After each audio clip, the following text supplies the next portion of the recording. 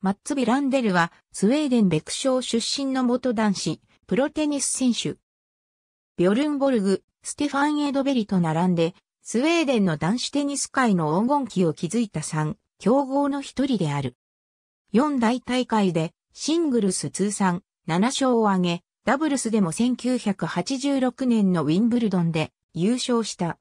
彼は4大大会男子シングルスで、クレーコート、芝コートハードコート、すべてのサーフェスを制した史上二人目の選手でもある。自己最高ランキングはシングルス1位、ダブルス3位。ATP ツアーでシングルス33勝、ダブルス7勝を挙げた。右利きの選手。1981年にプロ入り。1982年の全仏オープンにて17歳9ヶ月の若さで4大大会初優勝。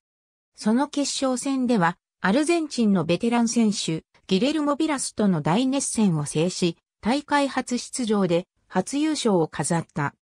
直後の1983年1月に、先輩のビョルンボルグが突然の引退表明をしたため、ビランデルに対するスウェーデンのスポーツ界の期待が高まった。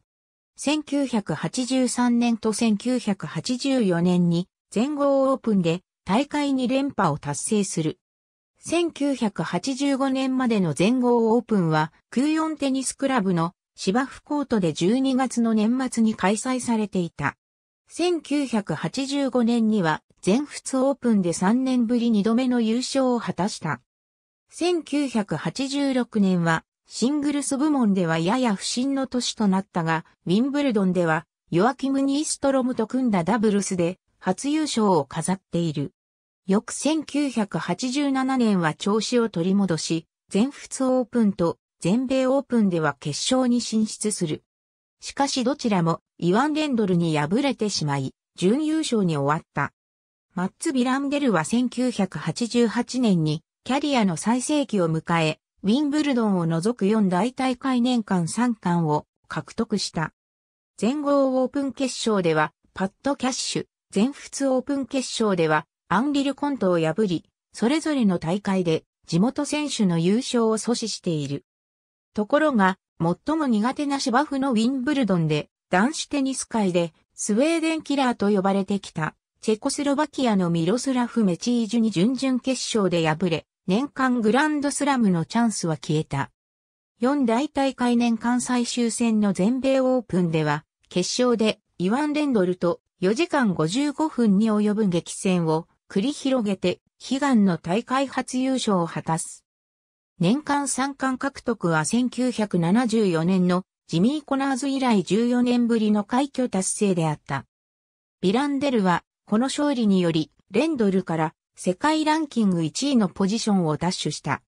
しかし1989年に入るとビランデルのテニス成績は急降下を始める。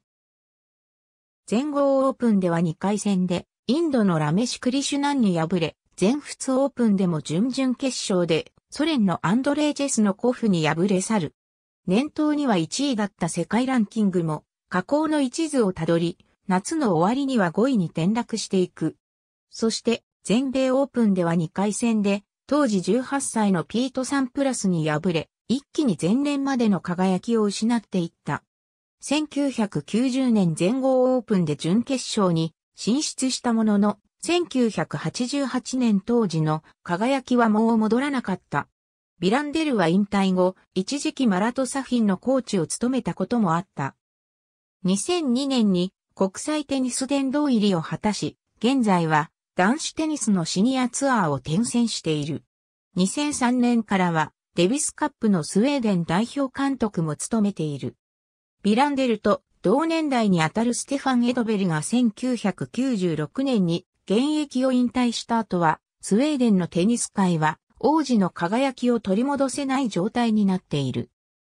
W イコール優勝、F イコール準優勝、SF イコールベスト4、QF イコールベスト8、R イコール回戦敗退、RR イコールラウン敗退、Q イコール予選回戦敗退、LQ イコール予選敗退、A イコール大会不参加、P イコール開催延期 WG イコールデビス、Z イコールデビス地域ゾーン、PO イコールデビス、G イコールオリンピック金メダル、S イコールオリンピック銀メダル、SF、B イコールオリンピック銅メダル、NMS イコールマスターズシリーズから降格、NH イコール開催なし。ありがとうございます。